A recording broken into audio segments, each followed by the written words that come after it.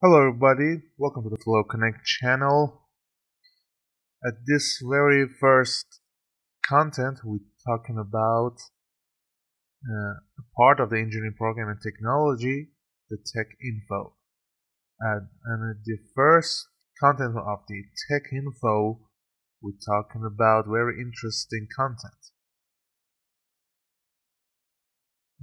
This is ShadowSocks a free and open source encryption protocol project used widely in the Middle East and China, created by Cloud Windy, a Chinese programmer in 2012.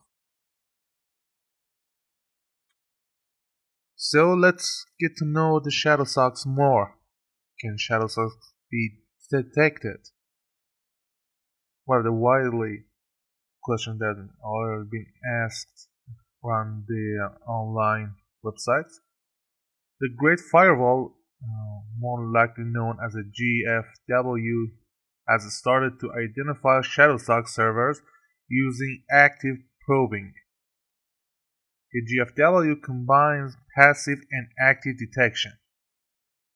First, it monitors the network for the connections that may be ShadowSocks, then sends its own probes to the servers, as if it were another user, to confirm its guess. Which has actually been doing that even though the servers more likely don't know the, uh, who's actually connecting to the servers. So there is a probe in between, the changing the encryption in between. Even though it's going to be change all the encryption from the online globe in the online world.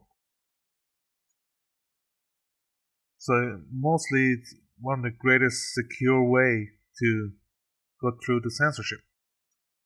How secure is ShadowSocks then? ShadowSocks is, is a secure SOCKS 5 proxy, which utilize various ciphers. The default is H2056 uh, CFB, which is I, uh, I, I learned about it before, but uh, I'm gonna talk about this uh, this cipher in the next video because I wanted to make sure I give away uh, the correct info.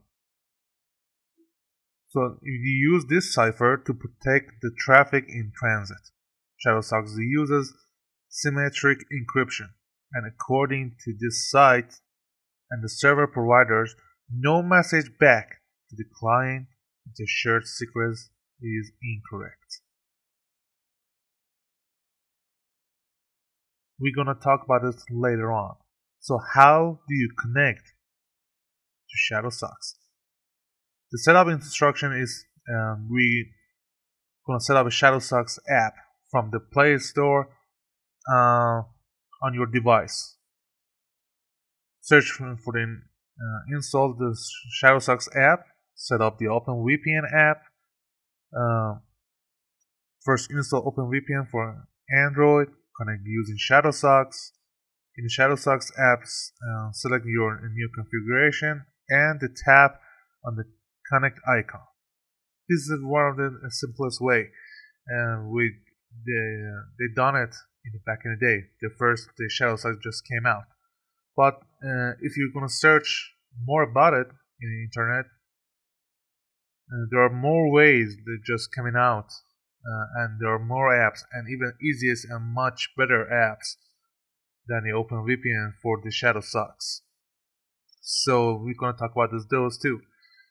Uh, in in our uh, recommendation, we using Outline app um, we use some of those ExpressVPN servers uh, and some of those Nord uh, servers, and there are some known great VPNs that out there too.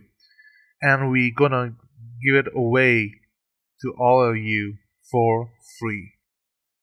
For those people are subscribing to the Flow Connect channel, we're gonna give away and just uh, comment below that you are done it and that will be perfect for us. So we can, you guys, gonna be support us by subscribing and liking this video, and we're gonna uh, give you much valuable in the future. So this is uh, Shadowsocks that we're talking about, and as you just figured out, this is more than just a video. It's a giveaway of the service for you can use it all around the globe. So before you can use it, you just go to the getoutline.org and or again, if you want to use it on your mobile devices, go to your uh, dedicated stores and just download. And you can just copy and paste the servers and you can do it. I hope you enjoyed this video. This is Flow Connect channel and we gonna come back to you next time.